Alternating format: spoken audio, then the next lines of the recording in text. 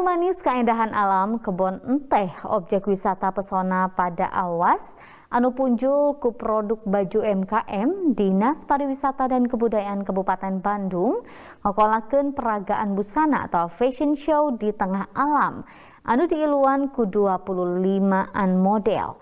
Eta kegiatan teh dipiharap mampu ngirut karep wisatawan timang pirang lelowek kerepakan si ke Kabupaten Bandung.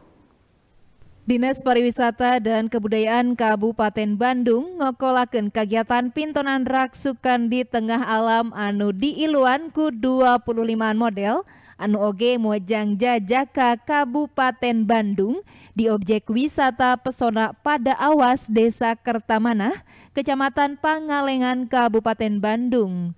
Beda jeng pintonan raksukan anu ilaharna. Eta kegiatan anu dijejeran fashion action beyond nature teh. Sakumna model anu make raksukan produk hasil UMKM asli Kabupaten Bandung. Dipaksa sangkan luwih paregel turta iatna ngalengkah. Dumeh panggung anu digunakan ku sakumna model. Tina papan kai sarta dipasang di lahan kebon enteh. Sapanjang kurang lebih 150 meter. Safira Zahra Nabila salah seorang model anu ici kibung di neta kagiatan nembraken kakara anu munggaran aub dina pintonan raksukan di tengah alam. Safira G ngararasakan sensasi anu beda timang pirang pintonan raksukan sejena anu dikokolaken di jero rohangan. Senajan kitu dirina ngarasa bungah tur tareus bisa aub langsung promosi keindahan alam bari ngagunakeun produk raksukan asli jienan UMKM Kabupaten Bandung. Kopi atas. Betul sekali. Uh, menurut dari pengalaman saya gitu ya, ini tuh acara pertama kali dilaksanakan ada runway di alam terbuka seperti ini. Begitu. Sebelum-sebelumnya tidak pernah ada diselenggarakan runway langsung di alam terbuka seperti ini. Apa yang membedakan sensasi? Dari pertama sudah pasti uh, lokasinya lebih menantang terus fisiknya juga karena ini lintasannya panjang begitu ya. Sekolah dari ruangan ya tentu saja cuaca kendalanya mungkin dari uh, kurang lebih dari situasi uh, lokasinya sendiri begitu.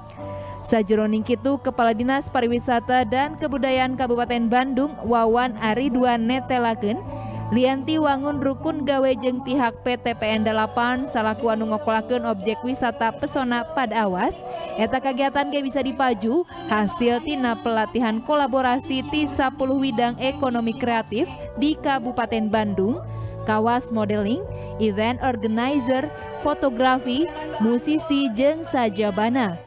Ya memang eh, aircraft dengan pariwisata ini tidak bisa di dipisahkan sehingga harus sama-sama kita lakukan dalam rangka meningkatkan kemajuan ekraf termasuk pariwisata yang akhirnya adalah uh, itu tadi pemberdayaan ekonomi masyarakat sekitar yang akan muncul pada saat lihat pariwisatanya ada, ekrafnya ada, tentu akan berdampak terhadap kegiatan ekonomi masyarakat. Tadi juga para model menggunakan baju-baju UMKM ya, Pak?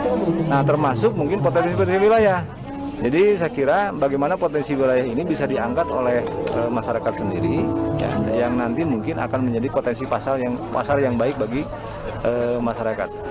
Eta kegiatan sa model kitu teh dipiharap bisa dikokolakeun di objek wisata sejena kalawan jejer anu beda.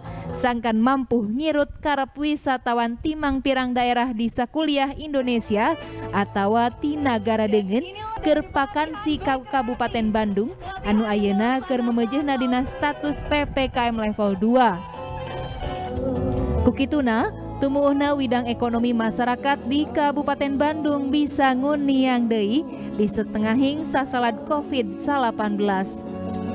Rezi Tia Prasaja, Bandung TV.